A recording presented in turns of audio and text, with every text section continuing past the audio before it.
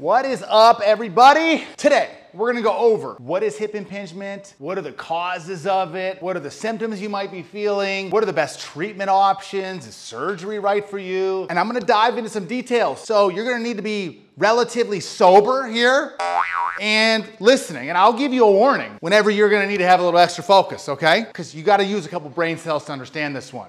I'm gonna guide you through though, all right?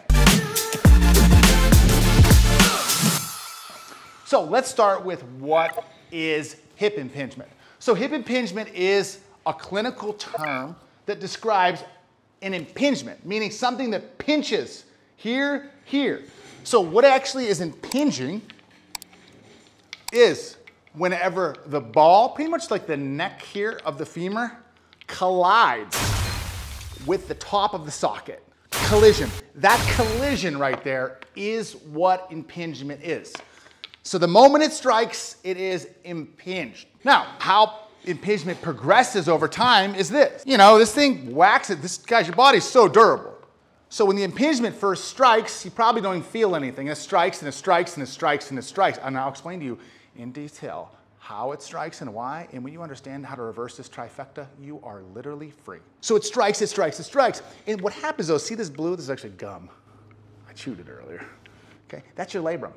So what happens first is as it strikes, it comes in contact, if you look closely, the actual labrum is what gets pinched first. You see that pinch of the blue?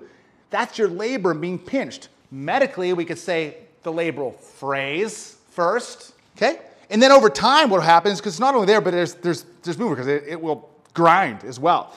Then the labrum will after the labral tearing, what occurs then is this collision just keeps striking and striking and striking, and it only strikes in a very, very, very specific point of the hip, right here. It's coming from uneven pressure distribution in the hip, okay? Hint.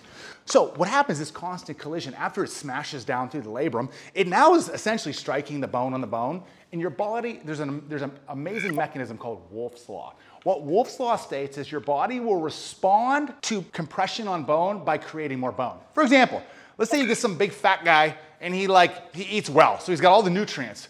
He's gonna have extra bone density because his body goes, hey, I got all this weight on my frame, so it's gonna make the bone.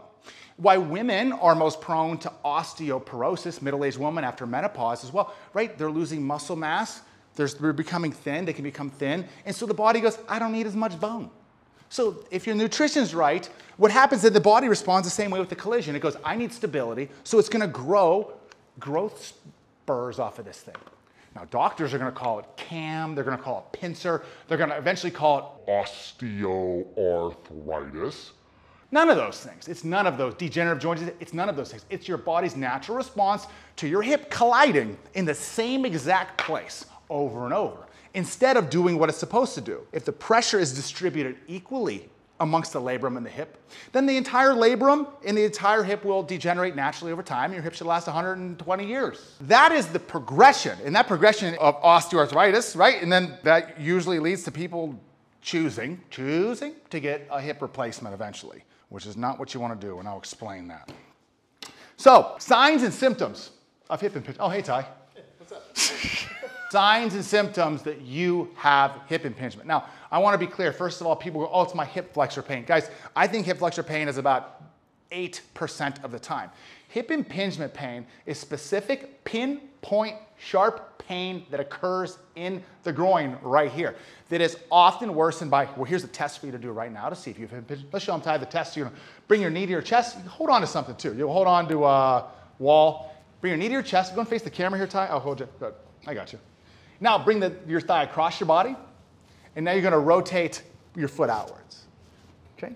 If that right there produces that pinch right here, that's positive for hip impingement. Another common movement that will elicit hip impingement is squat. So go and do a squat all the way down, Ty. Hip impingement, if you've hit that often, the deeper you go, the more it will create that pinch. And I'll explain to you why. All the stuff's reversible. So that's a test. Also, lunging, like a big step forward and lunging down, that can produce that pain. So right now, if you have that sharp pain in there, if that test was positive and it hurts when you squat, things are lining up that your pain is actually hip impingement. Now, signs. If you're one of the few people, you're like, I don't want to get hip impingement. How do I know if I'm prone to it? I am so happy you're here. And it's amazing that one of you or two of you are here. I hope one day the whole world will be focusing on if you're moving your body correctly, you're essentially preventing these things from happening. But let's talk about some signs, things you see that could be that increase your chances of you developing or yeah, increase your chances. It's kind of not really a chance. It's not really a game of chance. It's a game of predictability. It's whether you feel the pain. So number one sign, go and turn your side tuck, is the anterior pelvic tilt. Big swooping arch in the back, anterior pelvic tilt. That right there is, and, and by the way, Ty has a hard time going into anterior. He's actually in a lower risk for impingement. The flatter your back is, the lower the risk you are for hip impingement. I'll explain to you why. Okay. The next sorry, if you're doing a squat and your knees go inward when you squat, that is another risk factor for hip impingement. It's called valgus collapse. Knees go in. Those are signs. Those are things that you could see so you got anterior tilt, you got these. Now let's explain to you why. Why? Why? Why? This is my favorite part. I love this part. So let's take this hip. This is the right hip. We'll put it here. So on this hip right now, when you have anterior tilt, what you're gonna see happen is, you see how more of the ball becomes covered? Look at how much ball is exposed. There's a lot of ball exposed. When you go into anterior tilt, it starts to cover, it increases the coverage on the ball. The more that the ball is covered, whenever you flex your hip, AKA go down for a squat or bring your knee to your chest, the quicker your neck of your femur approximates and collides. Again, this is very important. When you have anterior pelvic tilt, it covers the ball. And so whenever the femur comes up, it strikes sooner. Now let's take this for example. If this hip was not so anterior and pulled back, look at how much more range the hip has to go up before it collides. So that's number one. This is a trifecta. Hip impingement is a trifecta. That is the, that is the uno facto. Okay? The dos facto is going to be internal rotation of the hip. So now you've got anterior tilt, and then you have internal rotation of the hip. Again, so you got more coverage, and now this part of the neck of the femur is now, this is the tallest part of the neck, so now it's even closer, less room before the collision occurs. And number three, it goes with it, because whenever the femur internally rotates, especially in a squat, the thigh comes across the body and adducts. So when you combine anterior tilt, internal rotation, and adduction of the hip, and then you squat or lunge with that position, that's when the collision occurs. That's biomechanically when the collision occurs. You wanna know the short answer? I'll give you the short secret to how to fix it. You have to strengthen and mobilize your body in the opposite direction of the misalignments. You have to strengthen and mobilize your body in the opposite direction of the misalignments. But look, you can't, you don't know how to do that. You, that's why you gotta learn one at a time. You gotta learn first the pelvis, then the hip. You can't do them all together. You don't know how to do it.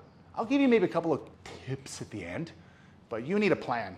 I've got a plan for you. So that combination occurs, and then you combine that with every time you squat, every time you bend, collision, collision, collision, collision, collision, collision, collision. Your body's so strong, it's trying to fix itself. Your body's trying to lay down new bone, it's trying to absorb old bone, it's trying to repair this, but you are outpacing your body's ability to heal by continuing to jam onto the area. You're outpacing it. You're never giving your body a chance to heal because you keep peeling the scab off, jamming the knuckle again. So the next question becomes, hey, should I consider surgery for this hip impingement? I'm gonna tell you this. I've been in this profession for 24 years. I've worked with over 15,000 patients one-on-one, have millions of people online. I get the amount of thousands of DMs that I get, 100, 200,000 members we've had in our programs. I don't know anybody who's heard it more than me. And I'll tell you what, and I'll tell you why the research backs this. I have maybe seen a handful of times that somebody was happy with their hip labral tear surgery three to five years later.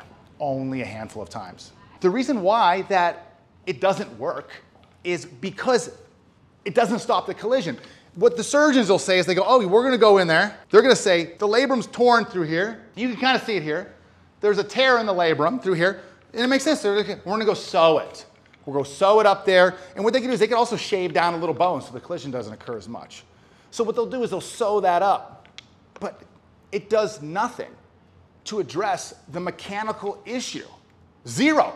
Nothing. Nothing at all. And so the second you're out of surgery, you start squatting again, collision, collision, collision, collision, collision. In the research, there's been a 500% increase in labral repair surgeries over the last, I think, five to 10 years. I haven't read this report in a while. The researchers themselves are telling the surgeons, telling the AMA, hey, the research is not supporting these surgeries, and they're still doing it.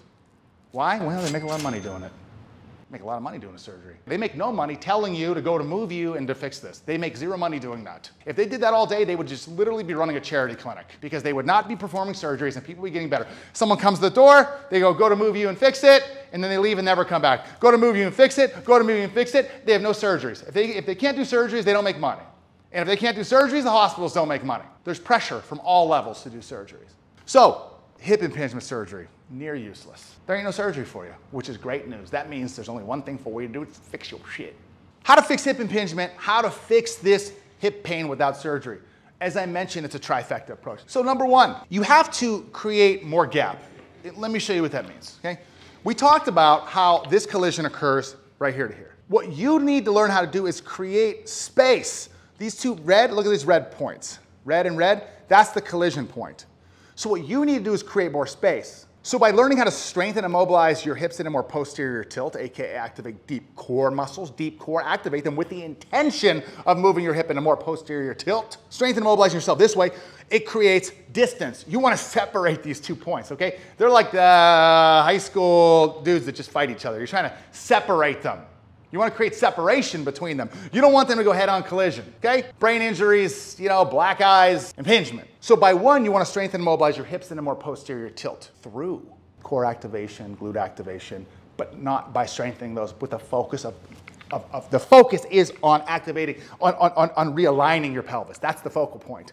Number two, you need to strengthen and mobilize this femur bone to move into more outward rotation. You need to strengthen and mobilize this hip into external rotation. And then strengthen and mobilize it into more external rotation and abduction.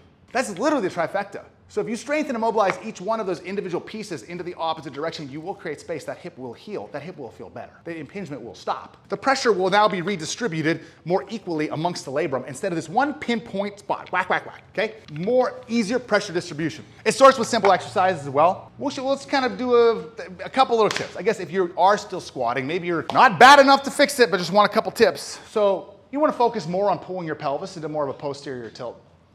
Right, and you want to focus on that throughout the day and strengthen yourself into that position too. You also want to, whenever you're doing squats, show them a squat too. Whenever you're, whenever you're squatting and moving up and down, you want to focus on maximally abducting the hip and outwardly rotating that. And oftentimes people like Ty, you can have different femur length and mobility. You see Ty's got a pretty flat back angle, so that position right there could actually impinge him, so you might want to stay more upright on the squat. Now look, I don't want to overwhelm you guys on movements, because the truth is that those, those movements are complex.